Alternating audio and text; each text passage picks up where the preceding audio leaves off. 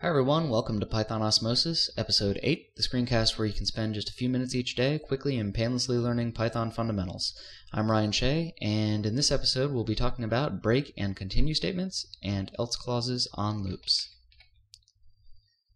So the first thing we're, we're going to do is create a for loop to calculate prime numbers.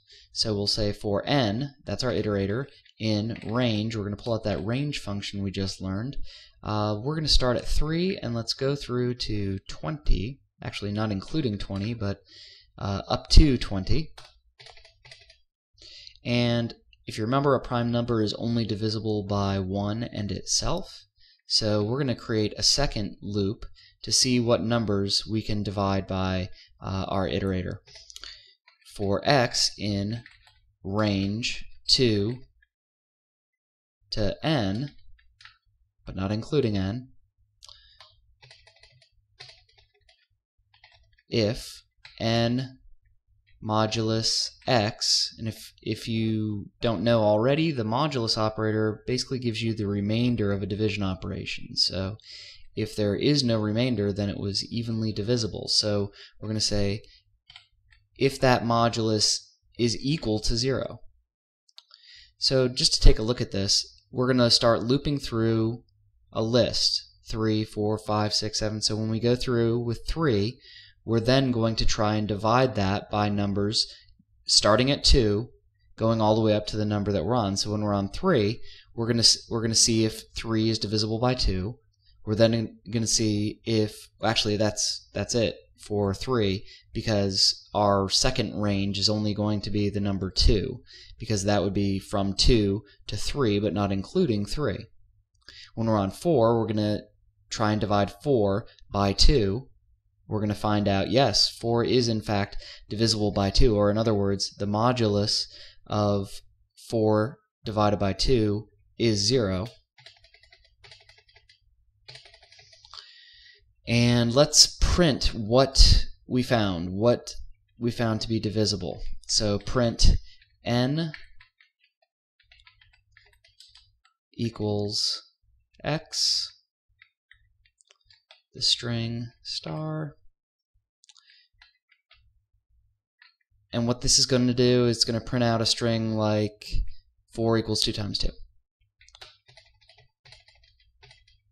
But as soon as we know that this isn't a prime number, it's got it's got something that it can be divided by, we don't need to continue on checking every other number. We can go ahead and cancel the execution of this loop and continue on. So we're going to say break. Um, and what break will do is it will jump us back out of the, the most furthest enclosing loop. In this case, it's the second for loop. So we're going to jump right back up to the basically the top uh, and continue on with our, our for loop. Now, one thing that's interesting in Python is that you can have an else clause on a for loop or a while loop. And in this case, what that means is if the if the loop continued through exhaustion, in other words, we didn't use break to unnaturally break out of the loop, then the else clause will be executed. So that basically means once we've tested every single number and we know that there's nothing it can be divided by, then we're going to say print n is a prime number. Okay? So let's see. So going up to 19, we see all of these. 3 is a prime number, uh, 4 is not. It equals 2 times 2. 5 is a prime number. 6 equals 2 times 3. And you get the idea. We've, we've created a really good, uh, really quick prime number calculator. Another statement that is often used is continue. Uh, continue is essentially puts you back out to the next iteration of a loop. So let me give you an example. Um, let's make a list. Foo equals, and we're going to make this list, uh, it's going to contain some strings, it's going to contain some integers. So we'll do 1 and then 2 and 3, 4, 5, uh, false. So we're just going to put all of these different types of values in this list. Now, what I'd like to do is loop through this, this foo list uh, for item in foo.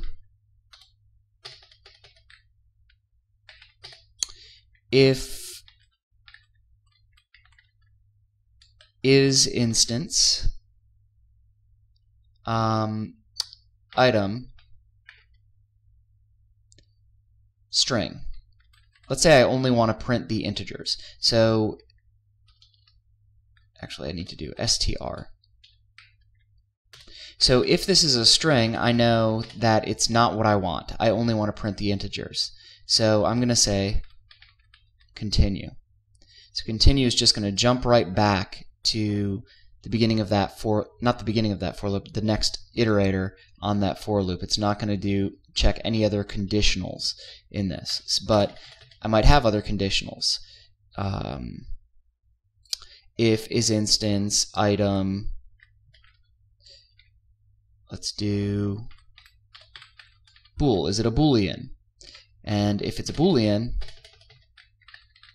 I want you to continue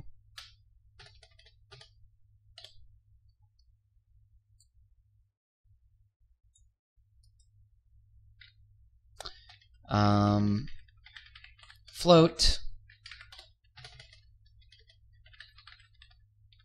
Continue. Else at the very end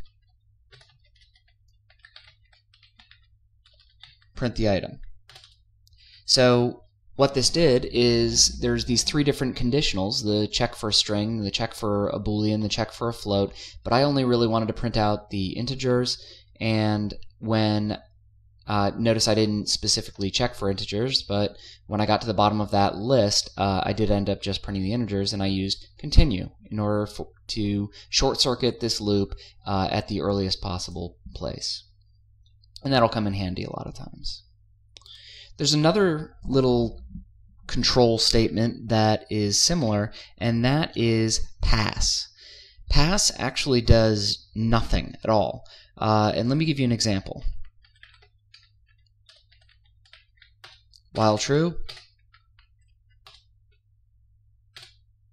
this just sits there. It does nothing. It's just waiting for me to issue a keyboard interrupt. And I do that with a control C, and there's the keyboard interrupt. What this is actually useful for is just creating placeholders. When you're typing your code, you may create a new class called uh, my empty class. And that might be a reminder to you that you need to create that or fill it in or or go back and, and, and touch that later on. But you want to have something in there outside of a comment, and you can just go ahead and do that, and then there is an empty class, and all it does is nothing. That's all for now. This screencast is directly inspired by the official Python tutorial by Guido van Rossum at python.org.